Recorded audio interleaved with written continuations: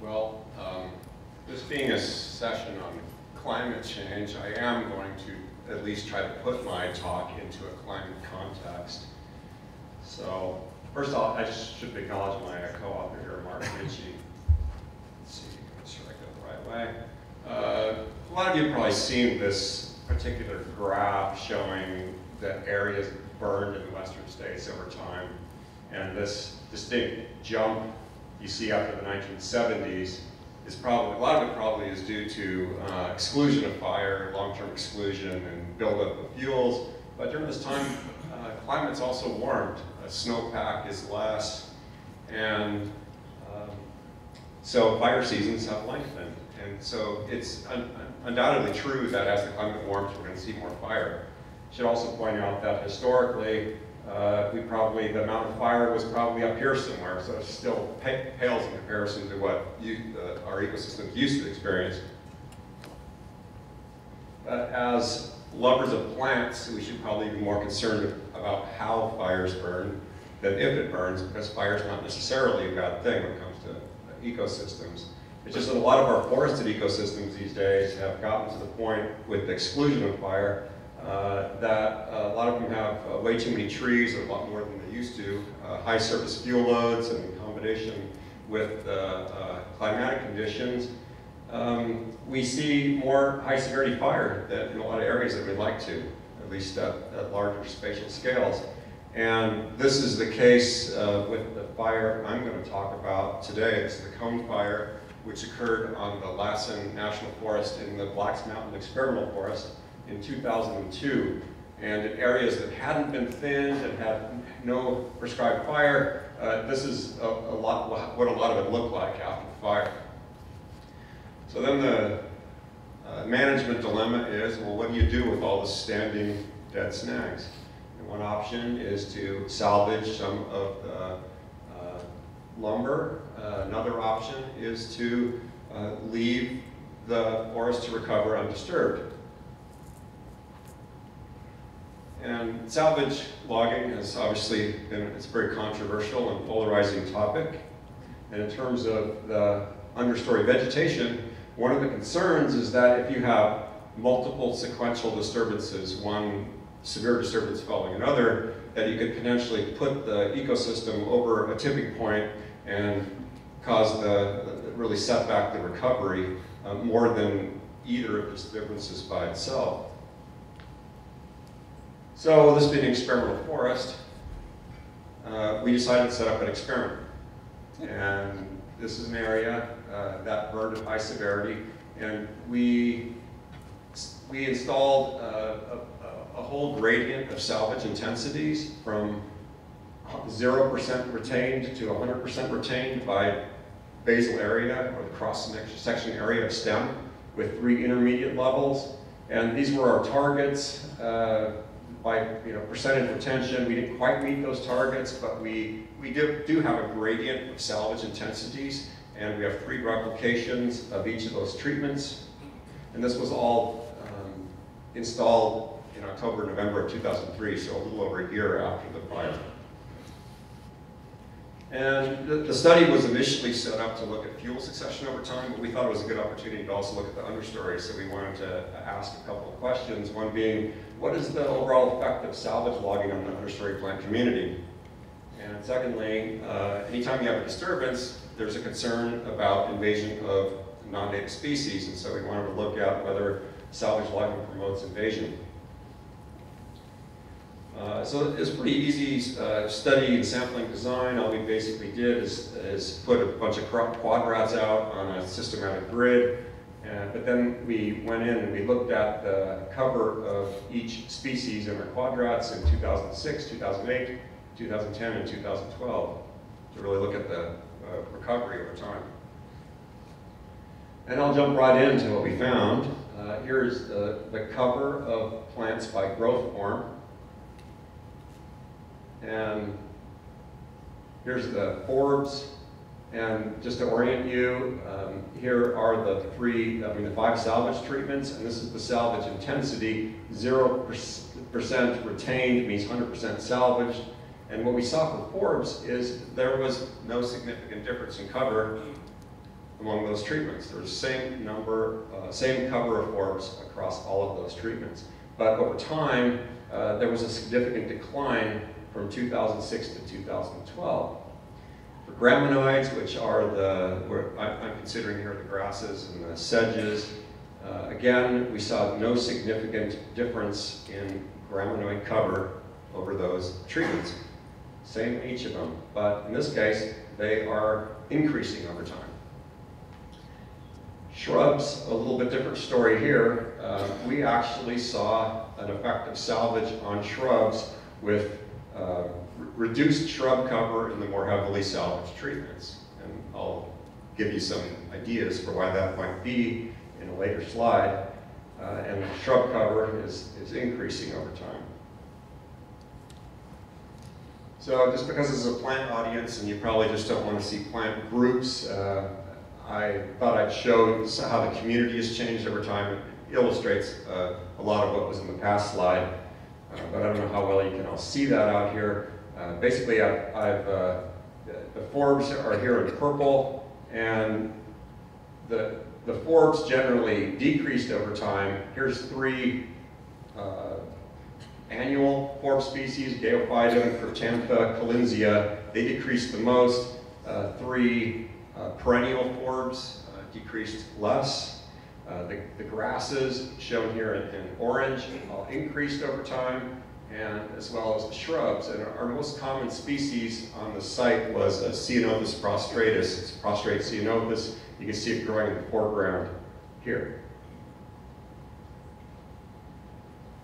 This next slide shows uh, plant diversity by native and non-native species. And diversity here is represented just by a count of number of species or richness.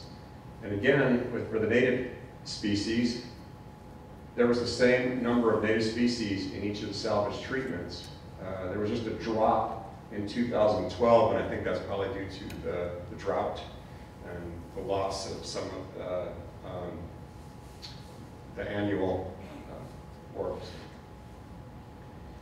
And then this, the, the bottom here are the non-native species, and it's kind of a, a little bit of a broken record here, but again, no significant difference between the salvage treatments. So not exactly what we expected, uh, but we see that they are increasing over time, and they continue to increase even now 10 years after the fire.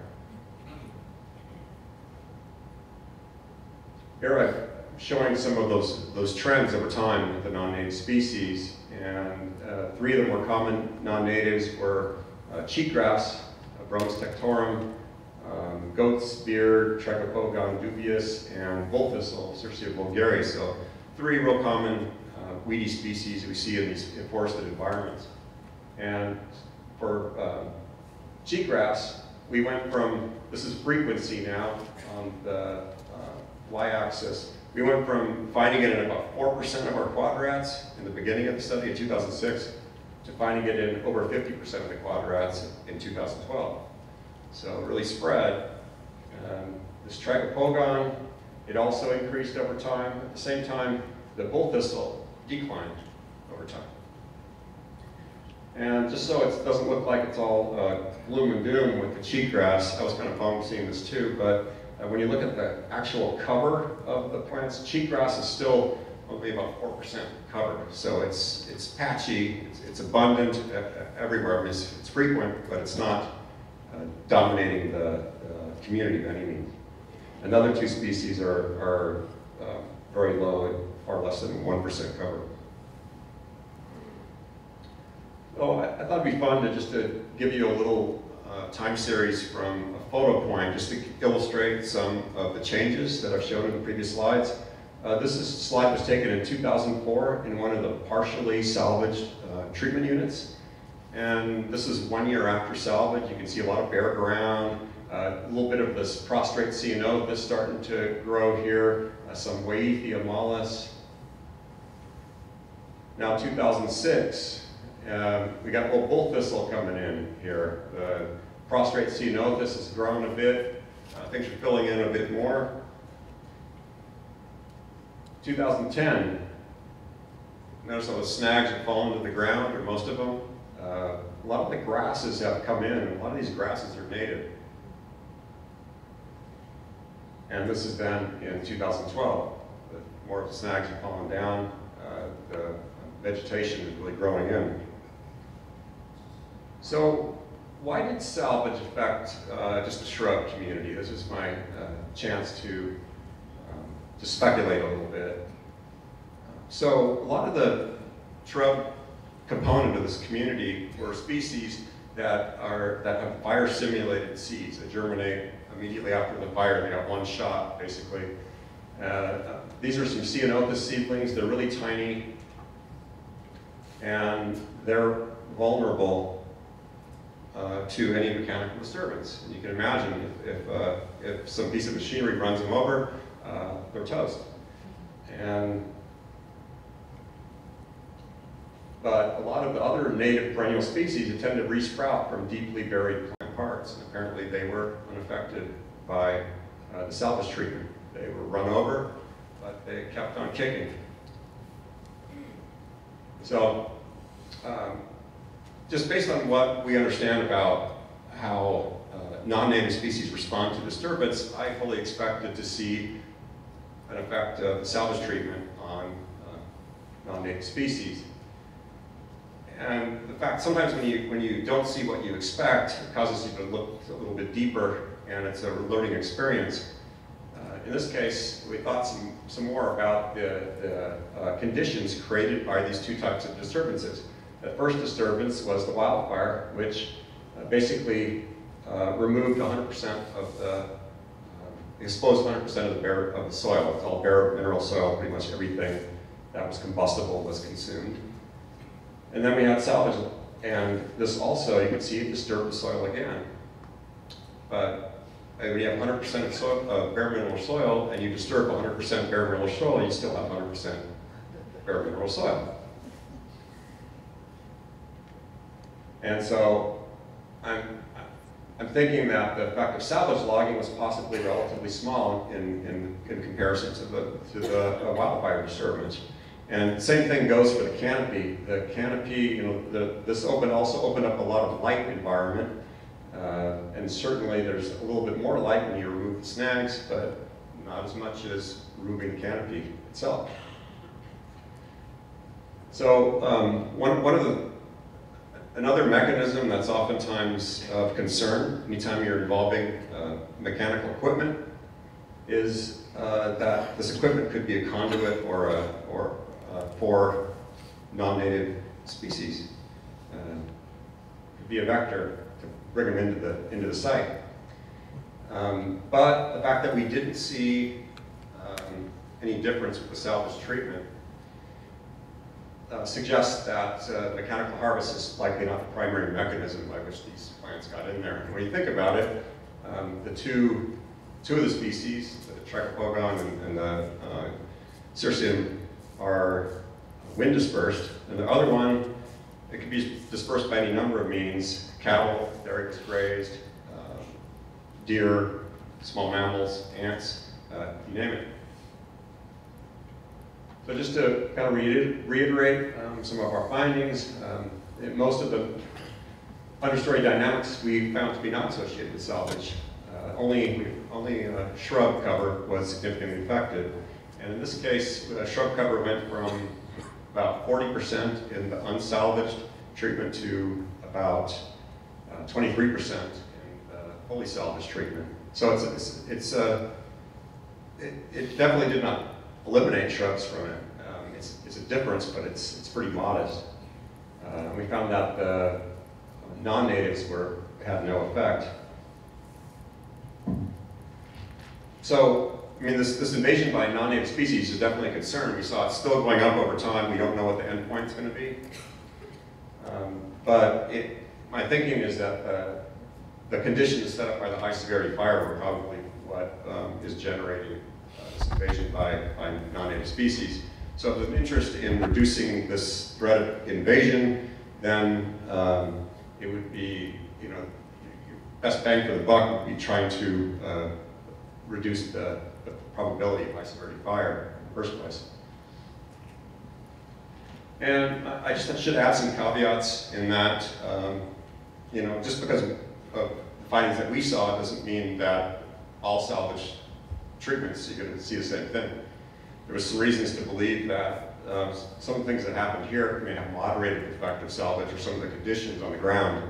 Uh, one being that we have rocky soil, we have, uh, it was done in very dry soil conditions, both of which reduced the, the probability of soil compaction. It's also a pretty minimal slope, and so less soil damage occurs under those situations. Uh, trees were pretty small, so it was a whole tree harvest, and we not a lot of slash was left behind that would otherwise cover the understory vegetation. And so, um, lastly, I, I, just thought I'd end with a sort of a hopeful picture. this is taken 10 years after the fire, nine years after salvage. And it's actually kind of pretty out there. And there's a lot to see. Um, for a plant geek like me, there, there were a lot of uh, just cool native species. And I think it just shows the, the capacity of ecosystems and our native species to uh, recover from disturbance. So it was just it was just nice to see this after 10 years. And I'd just like to acknowledge the people who helped with this work. Uh, National Forest, the botanists, particularly Don Runtley, helped with uh, IDing species. Uh, a lot of uh, other folks from the Pacific Southwest Research Station uh, took the field data, and, and, we got funding from the Joint Fire Science Program to, to carry this out. So thank you.